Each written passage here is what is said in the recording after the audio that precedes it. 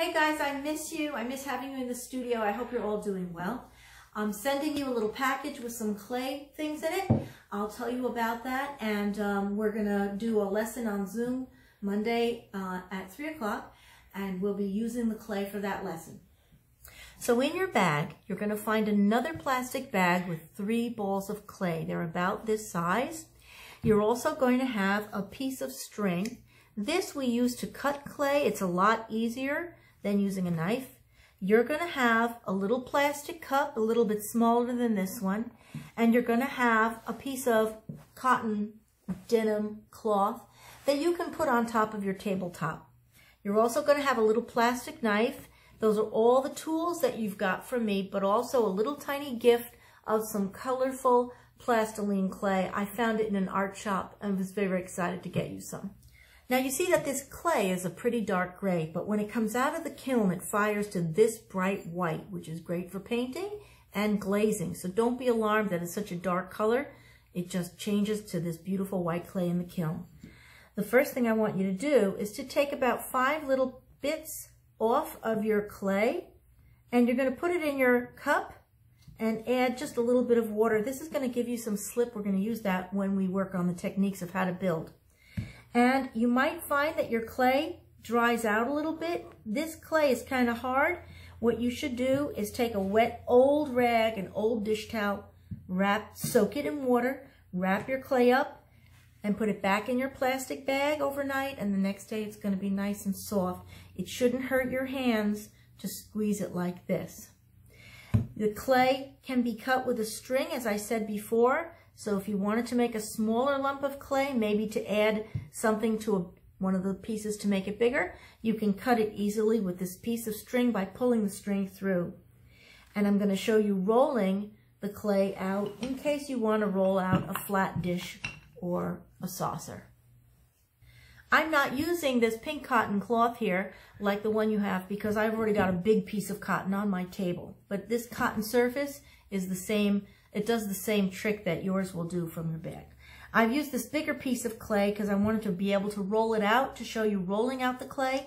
I have old rolling pins here. I've got one for red clay or brown clay and one for the gray clay, which turns white in the kiln. But I'm also going to show you, because you probably don't want to use your mom's rolling pin, I'm going to show you using another round surface. You could use an old glass bottle, or you could use a plastic water bottle that you have filled with water and put the cap on nice and tight.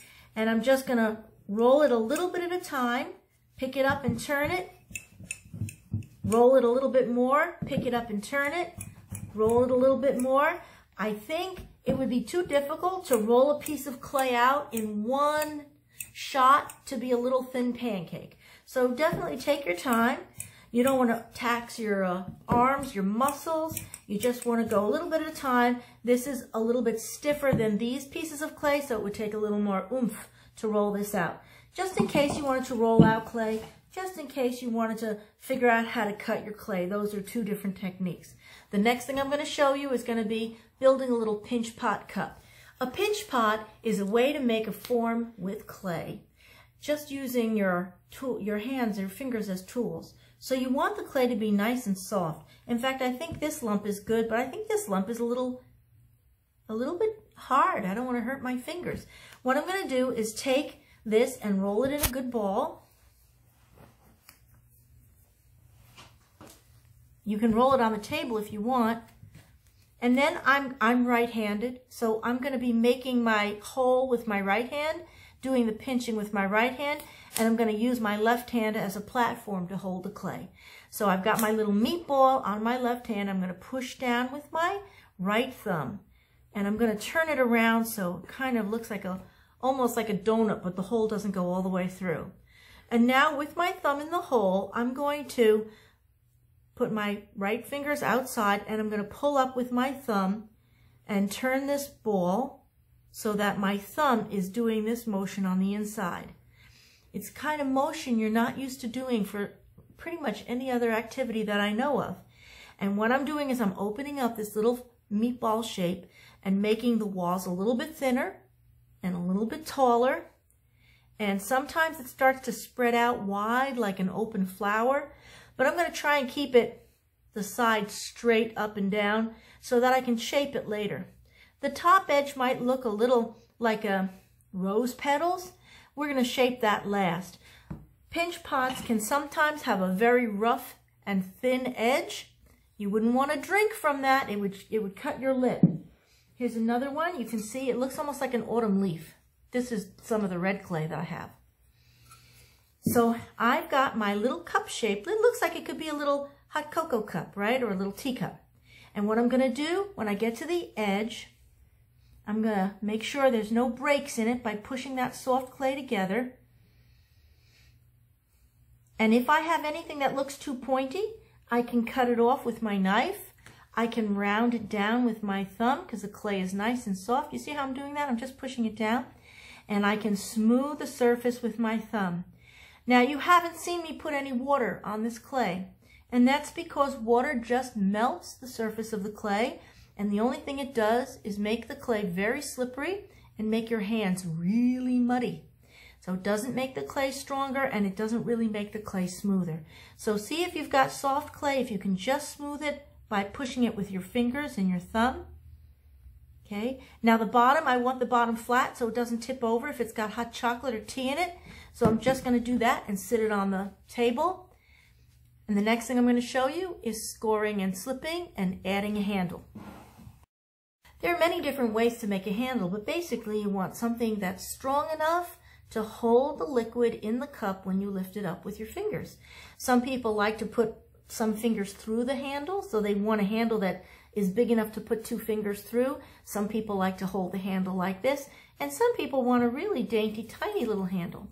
What I've done is I've taken a chunk of clay off and I've rolled it, but I could also flatten it. I could flatten it with my rolling pins. I could flatten it with my, just by pounding it with my hand but I don't want anything too skinny. This has a little bit of a wiggly shape, which might be nice since we're dealing with a pinch pot. Has kind of a nice organic shape. I want to have a good squared off top, and this is what my handle is going to look like. I'm going to attach it like that and like that, and the way I attach it is by scoring and slipping. Scoring means using your plastic knife making little notch marks on both parts, where it on the object and where it's going to touch your cup. So here I've got scores at the top and the bottom of my handle, and I put some at the top and the bottom of the cup. This is where the slip comes in. See how nice and buttery that is? That's really nice. Some, some people use just a little bit of water, but I think if you're building 3D, like a cup, I think you need to have something that's a little more cement-like. Now I'm going to touch this to the top and mush it a little bit. Touch this to the bottom and press it a little bit. And I'm just going to wipe the little bit of that slip that looks like some spilled gravy. There's my little cup handle. Okay, I haven't done any real refinement on the surface of this. And that's okay because I'm just showing you the technique. You can make your cup as smooth as you like. You can spend as much time on it as you like, and then you're welcome to make some kind of a saucer or a plate for it.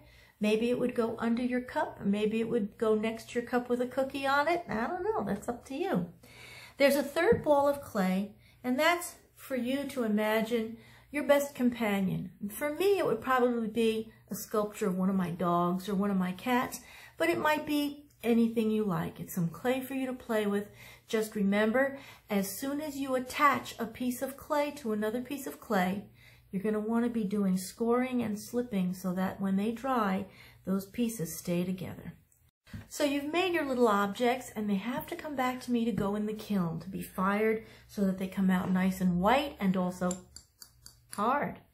And this is permanent. This is not going to get mushy again, even if it gets wet. So it's very fragile once it's dry. It's like compressed talcum powder. Before it dries, I'd love it if you'd put your name on the bottom with a pencil. Just scratch your name into the bottom and you'll let it dry and you'll bring it back to me and in a box or wrap it in a little tissue paper and then I'm going to load the kiln and they'll be fired and when they're done being fired we can I'll send them back to you they'll either be painted or we can paint them here um, I can send you with glazes we'll figure that part out So you've got a little tiny cup for tea or hot chocolate. Um, I hope you enjoy making it and make other things with this clay. When it comes back to me and I fire them, we'll have more conversations about how we'll finish this up. I do miss you. I'm glad we have this clay lesson together. Other lessons will be about drawing and painting.